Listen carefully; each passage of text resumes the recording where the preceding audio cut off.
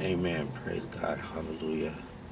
Just here sitting in my car, just chilling. Um, just trying to uh, fix my car or do whatever to it so she can run right. Um, I'm just here to say, you know, there's a lot of people out there who's just living rough, living wild. A lot of people who they just don't know which way to turn, who to trust. But I'm here to let you know Proverbs 3 and 5 says, Trust in the Lord with all your heart. Lean not unto your own understanding. In all your ways, acknowledge him, and he shall direct your path. Amen. Praise God. A lot of us have trust issues.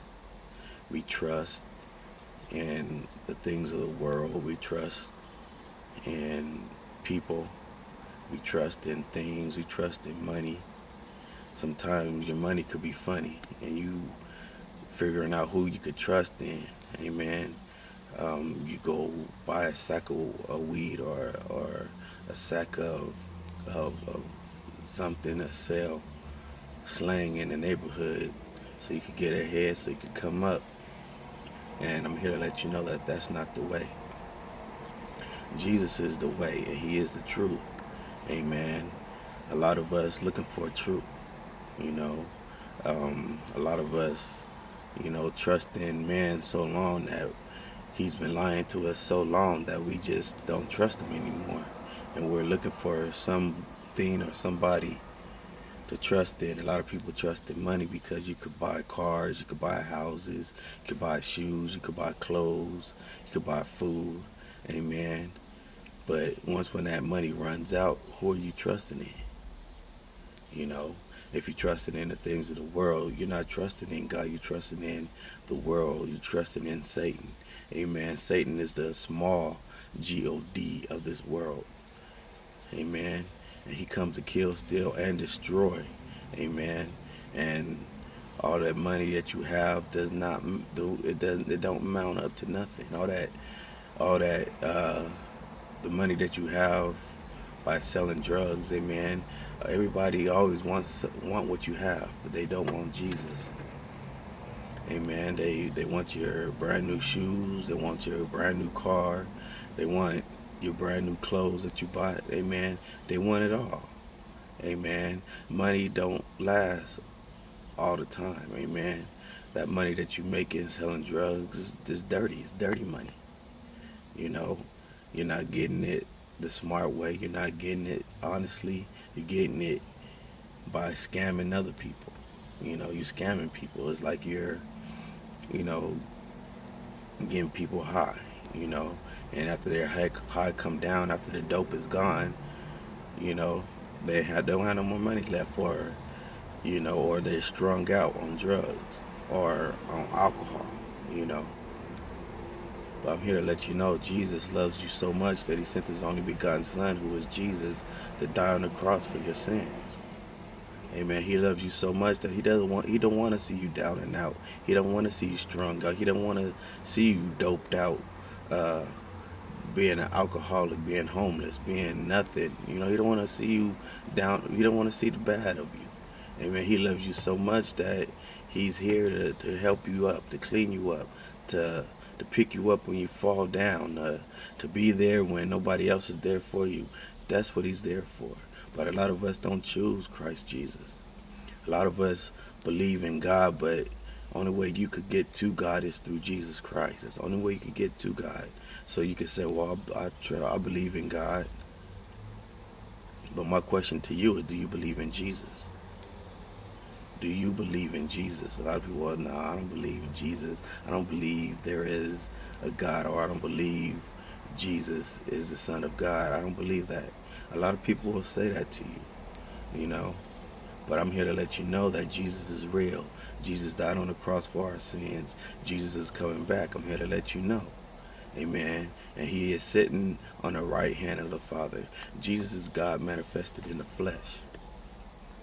Amen all the beatings he took, it was all for you.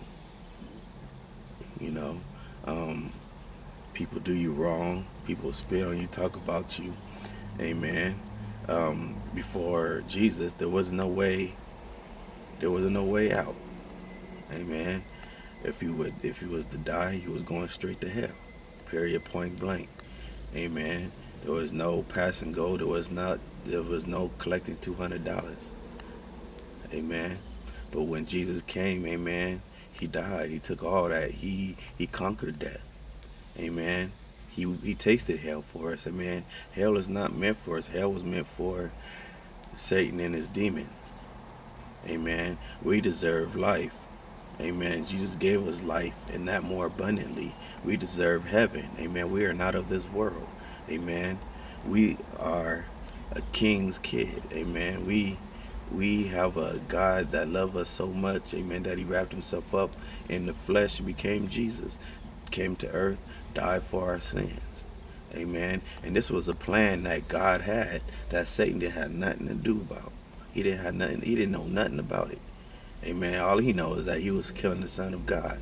Amen. That he was getting rid of Jesus. That's all he knew. Amen. But God's plan worked out perfectly. Amen. Hallelujah. Hallelujah. The Bible tells us the wages of sin is death. So you if you're out there smoking, drinking, doing wrong, stealing, cussing, dealing drugs, doing alcohol, amen, you're going to die and you're going to go to hell. Amen. If you don't accept Jesus in your life. Amen. I remember I was out there smoking, drinking, having fun, just partying, just doing it, just doing it, just just being wild. Amen. Went to jail twice in my life. Amen. The first time I was like, oh yeah, you know, I could, I'm gonna get out. I'm gonna keep doing the same thing, go and kick it, and try to try it over again. Try to do what I went to jail for, trying to do it over again. Amen. But come to find out that what I I didn't know, that I thought I knew, wasn't right.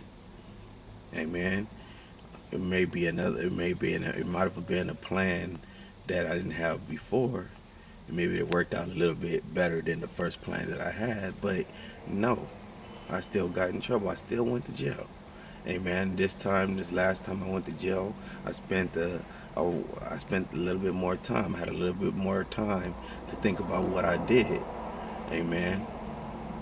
Praise God. And when I was in there, I was like, man, I'm tired of this. You know, I'm, I got a son. To, I'm, I got a son to worry about. Amen. What kind of father would I be if I'm up in jail? Amen. What kind of role model would I be if I'm up in jail and my son is standing out talking about, oh, my daddy went to jail and I'm gonna be just like my daddy. Amen. And and I'm up in jail he turned out to be just like me. Amen. I don't want to be. I don't want him being just like me. I want to be. I want him to be better than me. Amen. I want him to to prosper better than me. Amen.